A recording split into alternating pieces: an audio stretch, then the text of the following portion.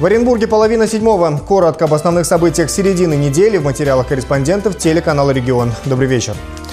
И в начале улица Туркестанская во второй половине дня встала в огромной пробке. На остановке Парковская произошло тройное ДТП с участием ВАЗа-2115, УАЗика и троллейбуса седьмого маршрута. В аварии никто не пострадал. Досталось только отечественной 15 которая въехала в бок троллейбуса. Как произошло дорожное происшествие, непонятно. Никто из его участников не захотел общаться с журналистами. Но из-за того, что авария произошла посреди проезжей части, образовалась пробка из центра в Восточный длиною в несколько сотен метров. А тем временем главный полицейский Оренбуржья потребовал построить пешеходные переходы и установить камеры видеонаблюдения. На вчерашнем заседании законодательного собрания Михаил Давыдов отметил, что в последние годы застопорился проект «Безопасный город», предложив депутатам расширить географию установки комплексов видеофиксации, а также обновить те камеры, которые есть. По мнению начальника регионального УВД, камеры видеонаблюдения, установленные в людных местах, позволяют пресекать правонарушения. И с их помощью легче найти преступников. К примеру, в прошлом году выявлено 37 преступлений и составлено 251 административное правонарушение. Также Михаил Давыдов заявил о необходимости реконструкции и строительстве новых безопасных пешеходных переходов.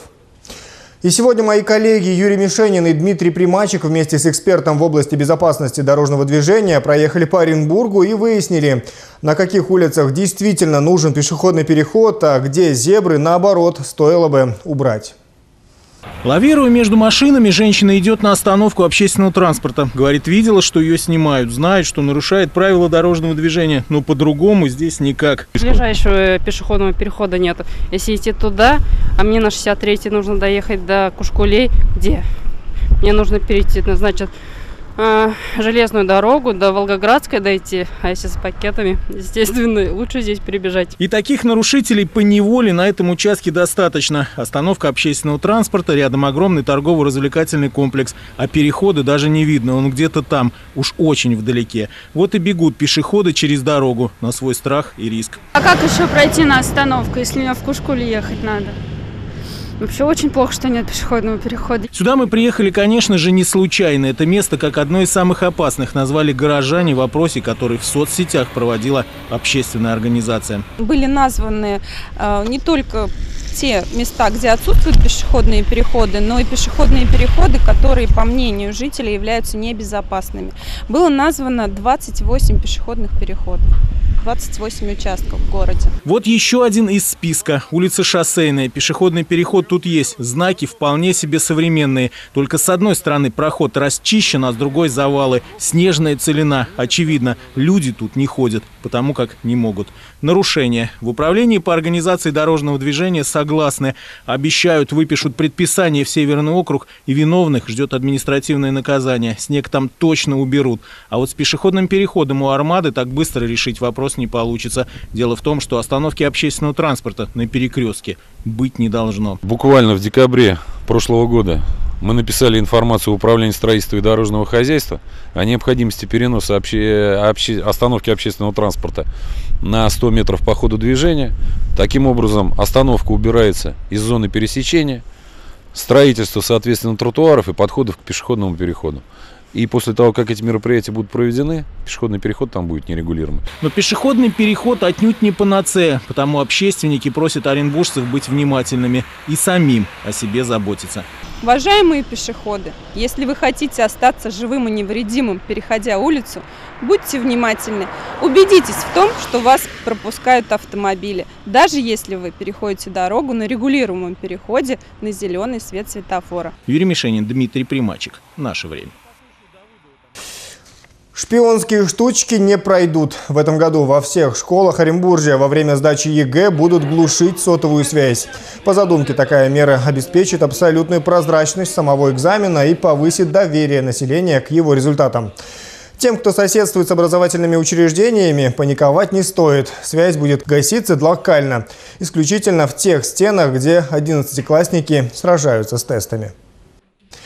Надо сказать, это не единственное новшество. Например, число общественных наблюдателей, которые будут следить за сдачей ЕГЭ, увеличится до 130 человек. В прошлом году их было лишь 39. Кроме этого, появится единый региональный центр онлайн-наблюдения за всеми классами и аудиториями, которые задействованы в испытании. Пугают ли все эти ноу-хау самих выпускников и их родителей? Екатерина Киселева выясняла. Мы будем продолжать готовиться к единому государственному экзамену. Каждый получит индивидуальное задание. Готовиться к ЕГЭ одиннадцатиклассники начали еще в конце десятого, но сейчас для будущих выпускников, конечно, самая горячая и ответственная пора. Они пробуют одновременно определиться с выбором будущей профессии, налегают на профильные предметы, пытаются поладить с обязательными. Вот Саша Шабальна, возможно, наша будущая коллега. Она абсолютный гуманитарий, мечтающий о журналистике. Но сдавать ведь предстоит еще и математику. Я за математику переживаю. Э, нет у меня к ней какой-то склонности, но я стараюсь все равно. С такими проблемами в школах борются как могут. Консультации индивидуальные и групповые, занятия с вузовскими преподавателями. Но результаты ЕГЭ прежде всего зависят от стараний самих выпускников. Стас вот метит в нефтяники, потому в профильные предметы погружен с головой. В первую очередь это химия, поскольку там очень много подводных камней. Хожу на дополнительные курсы э, в институт ОГУ. Там проводят групповые занятия по математике, по химии. И также дома занимаюсь, прорешиваю тестовые задания. Впрочем, педагоги больше боятся не за предметную подготовку ребят, а за психологическую. Волнение, к сожалению, самые прочные знания подрывает. Дети очень часто выполняют работу в классе лучше, а на ЕГЭ чуть хуже. Вот эти волнительные моменты сказываются. ЕГЭ решает нашу дальнейшую жизнь, потому что от этого поступим мы или нет. Так что это очень волнительно, даже ну, обычный пробник, для нас это очень волнительно.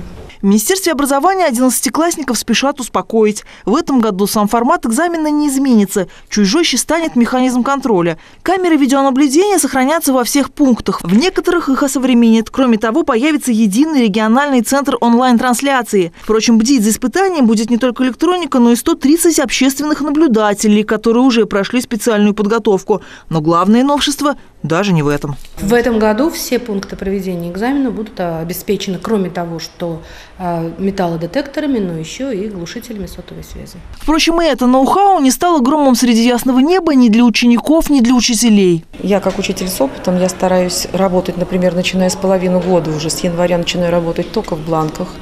Я лишаю детей телефонов, то есть собираю обязательно телефоны и оставляю их наедине со своей работой, поэтому они как бы вот набирают этого эмоционального опыта. На всякий случай в министерстве напоминают, шпионские штучки, микроскопические наушники и волшебные электронные брелоки лучше оставить дома. Влечет за собой отмену результатов, невозможность пересдачи этого предмета в текущий учебный год.